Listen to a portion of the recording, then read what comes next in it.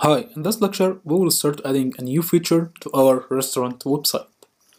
First of all, if we take a look at our navigation, we will see reserve a table. This will give us a way so that anyone can reserve a table for himself. Let's on our template, there is a page called the reservation table. So we need to add this feature in our site. First of all, I'm going to take this copy and I'll go to our project src and here in our meals I think we should create a new table with reservation so I'm gonna create a new project a new app sorry Python by start app reservation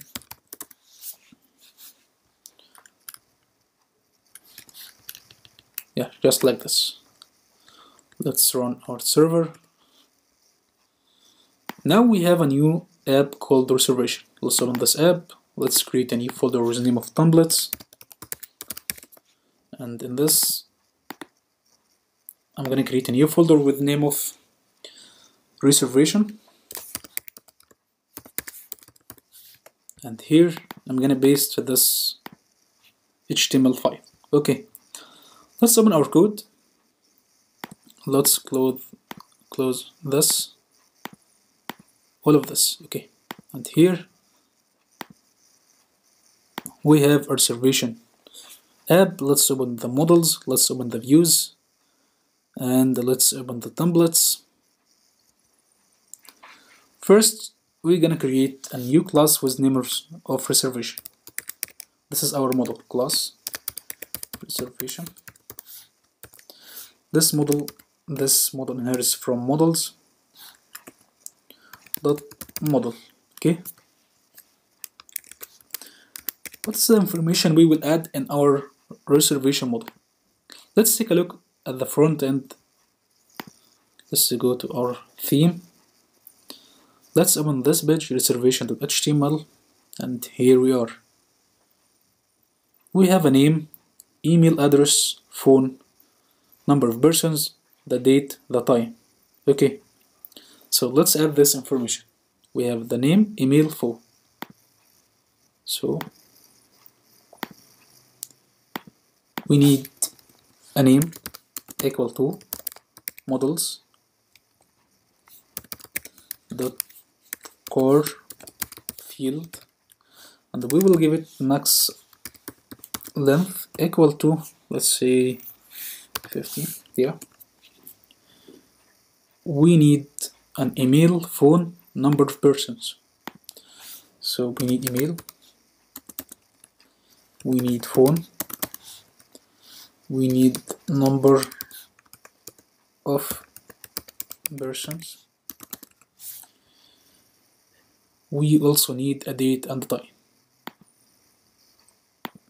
So we need a date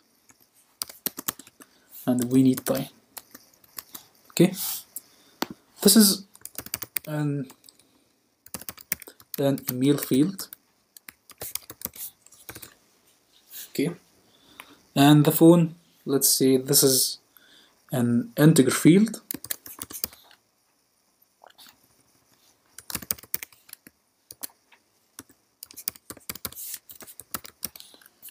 Field. Okay and this is the number of versions. This is also an integer field. Yeah. The date this is date field. Sorry. And the time. This is models dot time field. Okay. Now we've just created our reservation model but we forgot something. Eh? this model needs to this app needs to be imported in our settings to settings.py so here in installed apps we need to add reservation.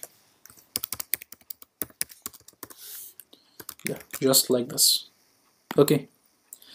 Now we need to define our str method. Str and here this method return self.name okay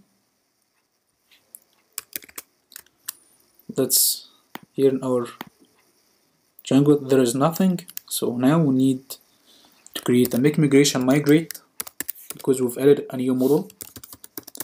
Python manage.py make migrations. And here Python by migrate. Let's run our server again.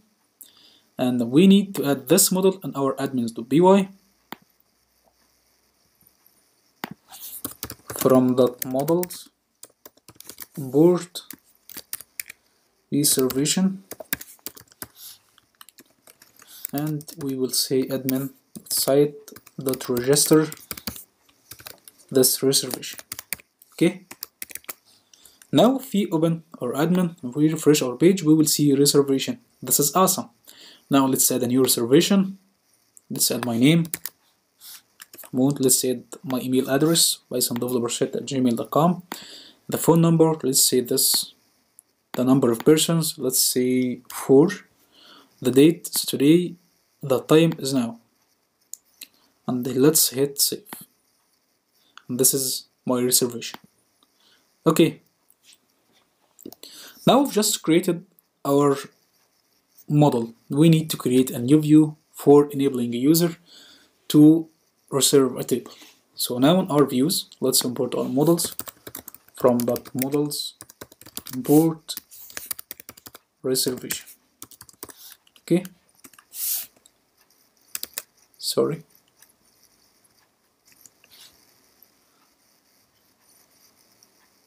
Okay. To complete did this. Okay. Now we need to create a view def reserve table. This will take a request from us. Now we need to connect this view to a URL. And our new app has no URLs. So we need to create a new file.